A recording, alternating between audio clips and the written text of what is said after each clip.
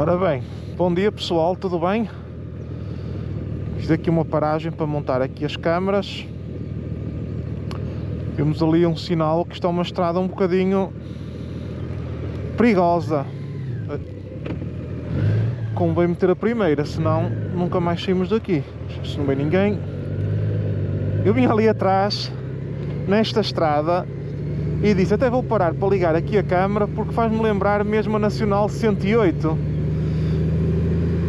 para quem não conhece, pronto, para quem é mais do norte de Portugal é uma estrada bastante conhecida para os motociclistas. Uh, e eu vim ali atrás a fazer aqui estas, estas curvas e, tá, veio-me mesmo à memória a Nacional 108 e eu disse, então olha, vou iniciar já aqui o vídeo porque assim a malta vê já aqui uh, também uh, esta estrada. Eu estou na Bélgica, aqui perto de Ufalize, e então uh, vou visitar aqui a barragem de, de Nis Ramon. Nunca vos aconteceu irem às vezes visitar um sítio só por terem visto assim uma, uma fotografia bonita? eu, eu, eu acontece muitas vezes isso uh, utilizo por vezes existe um, um, canal no Instagram que é o Belgian Luxembourg onde eles fazem uma coletânea de, de, de fotografias de pessoas que, que, colocam fotografias aqui por estas zonas entre a Bélgica e uh, o Luxemburgo e muitas das vezes uh, e como nós sabemos os olhos também comem e às vezes de vermos assim uma fotografia assim bastante, bastante bonita, uh, tomamos a decisão de ir visitar esse sítio com base única e exclusivamente numa fotografia. Às vezes é uma desilusão, porque as fotografias às vezes são uh, tratadas a nível de cor e tudo para parecer uma coisa e depois quando chegamos lá uh, as coisas não são bem assim como nós vimos. Mas contudo, eu vi uma fotografia que eu achei extremamente bonita e vou colocar agora aqui no, no vídeo para vocês verem e então foi com base nesta fotografia que eu tomei a decisão de, de vir aqui dar um passeio e conhecer uh, esta, esta, esta barragem, porque isto aqui é conhecido como o pequeno pedaço de Canadá na Bélgica. Vocês vão ver porque o Canadá, como, como vocês devem calcular, é um país que tem, tem zonas de, de florestas e arvoredo bastante denso e então aqui esta zona da Bélgica eh, é conhecida, aqui esta floresta das eh, Ardenas é conhecido como o pequeno pedaço da Bel do pequeno pedaço do Canadá na Bélgica. Então vou aqui nesta, vou aqui nesta, nesta estradinha, faltam-me 9 km para chegar. Está a ser bastante, bastante fixe. Faz-me lembrar quando fui a, a La Roche em Ardennes, também era uma zona assim eh, de floresta bastante bonita, aliás, não é, não é muito longe daqui eh, e faz parte aqui desta, desta grande floresta que vocês veem aqui, uh, outra cidade que eu fui uh, visitar, onde fui visitar os, uh, os castores e tudo, não é? Este, aliás, este rio que tem aqui embaixo é o mesmo onde, onde, eu, onde nós fomos ver as represas dos castores. Eu agora tenho-me dado aqui um bocado para bater aqui na, na Bélgica, só às vezes assim um bocadinho de, de luas. Às vezes ando muito pela, pela França, outras vezes pela Alemanha. Agora estou aqui a dar um bocado aqui na, na Bélgica. Outras vezes é a Holanda, etc. É conforme. Mas agora vindo aqui este tempo bom, eu gosto de passear assim mais, mais assim por estas estradas de montanha, que há aqui muita coisa para é explorar.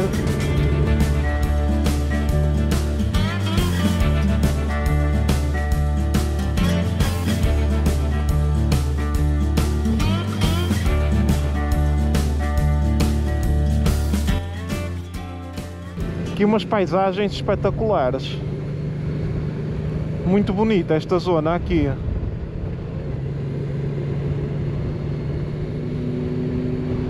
A barragem é já aqui, é já aqui à frente, já estou, já estou mesmo a chegar.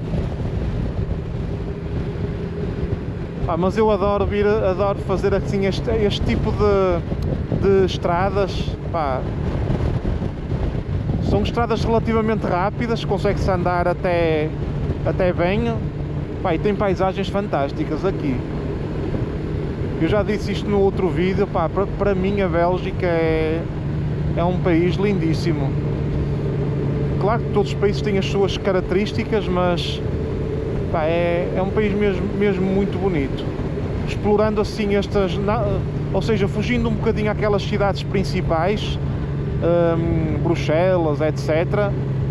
Pá, é uma é um país mesmo muito bonito.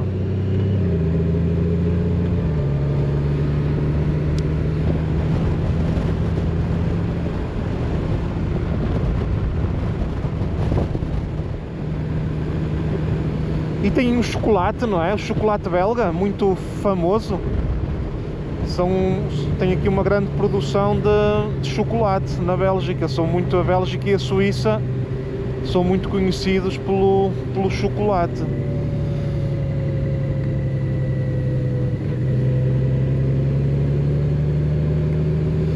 Ora bem, deixa-me agora ver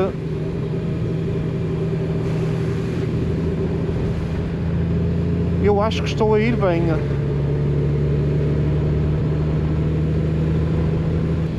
Eu acho que é já aqui à beira. Ali não é.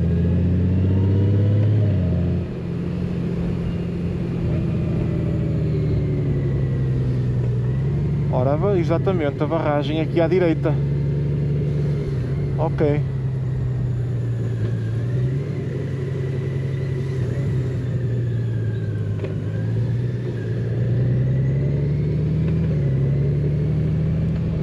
Epá, já tem aqui muita gente. E autocaravanas e tudo.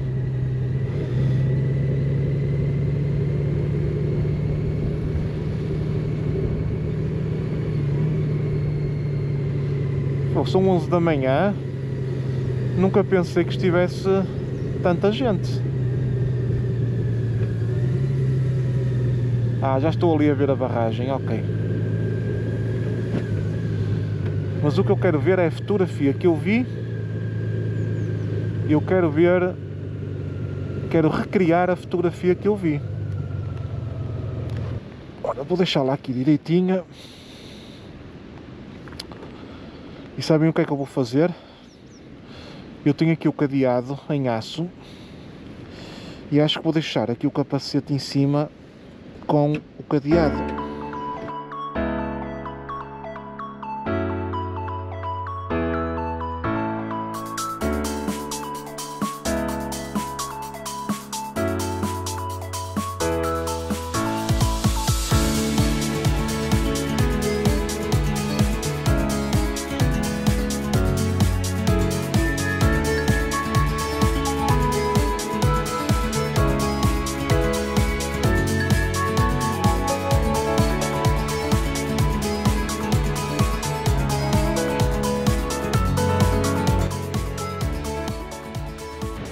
pessoal.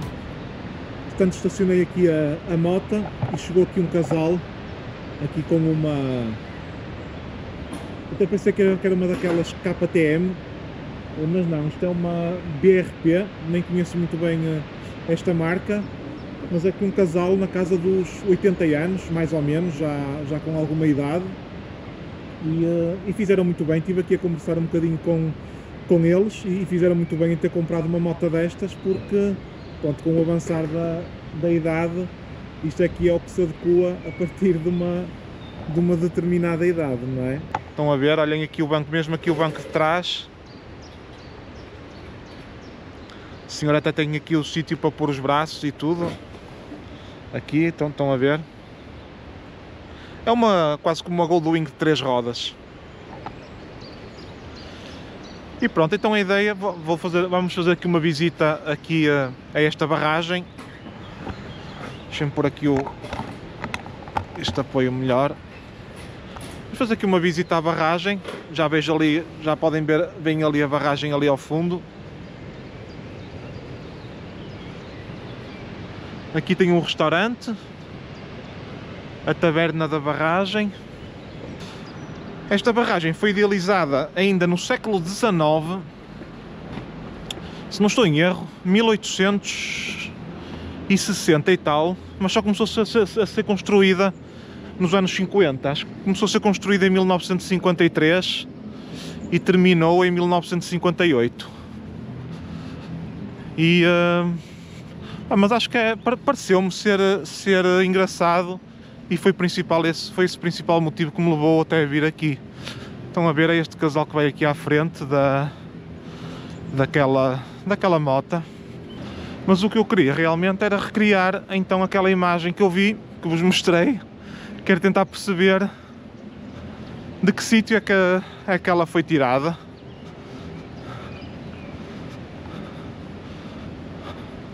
Aqui estas, estas tipo canoas, pode-se alugar aqui para ir até ali ao rio, passear um bocado.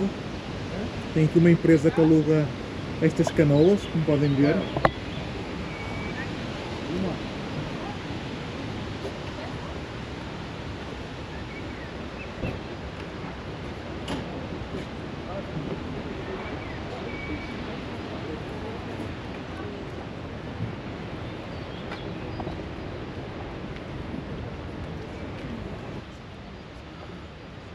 Ah, foi daqui que foi tirada a fotografia.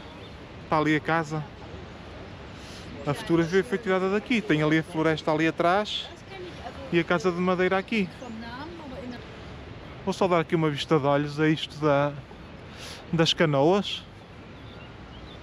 Esta barragem serve para, para hum, abastecer de água, ainda nos dias de hoje, aqui as cidades mais próximas, que são planaltos, Portanto, são, são cidades com um bocadinho mais dificuldade em, uh, em obter água e então isto aqui acaba por, eh, por ser uma, uma boa fonte de... Acaba por ser uma boa ajuda aqui para conseguir abastecer as cidades vizinhas.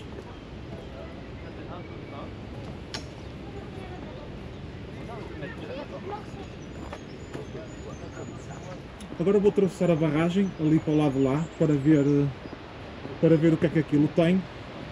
Vou ver se dá para ter também aqui umas imagens, umas imagens boas da barragem. Agora vou mostrar aqui, aqui deste lado parece-me ser, aqui esta entrada aqui, parece-me ser um, um caminho aqui pelo meio da, da, da floresta para quem quiser fazer hiking se calhar pode seguir ali aquele, aquele trilho para dar umas caminhadas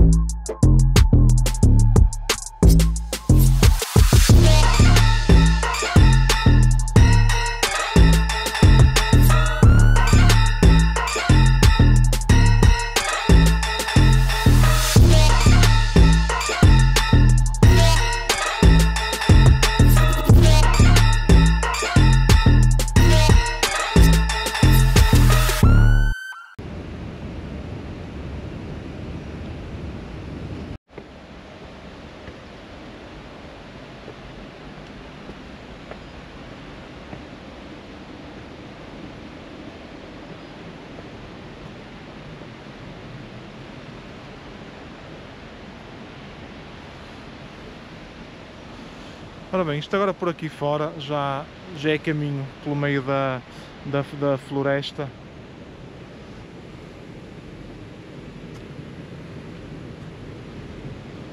Acho que não vou para ali, não vale a pena.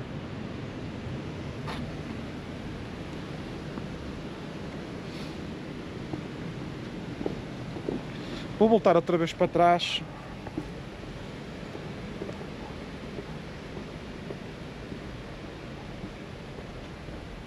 E agora pessoal, para acabar o vídeo, falta uma coisa muito importante. Será que consegui recriar a foto pela qual eu vinha a este sítio? Eu acho que sim, não tem assim muito jeito para apanhar os ângulos certos, mas acho que consegui recriar uh, a fotografia que eu vi e que me fez, e que me fez uh, vir aqui. Claro que eu suspeito que a fotografia que eu via tem ali um toque de, de cor um bocadinho, e embora a fotografia tenha sido tirada no, uh, no outono, não é? que agora a primavera já é um bocado di, diferente, mas vale, vale, eu acho que eu acho que não foi, que não foi empolado para parecer melhor do que é. É um sítio pequeno, é um, é um sítio bonito, a barragem não é assim uma barragem muito grande, para quem já viu a barragem do Vardame, por exemplo, como eu, um, e vê isto, não é assim nada de muito especial, mas contudo uh, é um sítio também, uh, também uh, diferente e aproveitar aqui um bocadinho este bom tempo e este sol para começar aqui a dar uns passeios com a moto, agora que vem aí o bom tempo, acho que foi engraçado. Para terminar agora o vídeo, vou-vos então deixar aí com a fotografia que eu tirei com o telemóvel, eu gravei e eu gravei aqui na câmara e com o telemóvel. Eu vou, eu vou pôr as duas, só para vocês poderem, poderem ter aí uma ideia uh, de como é que ficou, mas consegui apanhar o sítio certo. Ok pessoal? Espero que, espero que tenham gostado desta, desta visita, foi sim um vídeo relativamente rápido uh, e vemos no próximo vídeo. Um abraço e fiquem bem.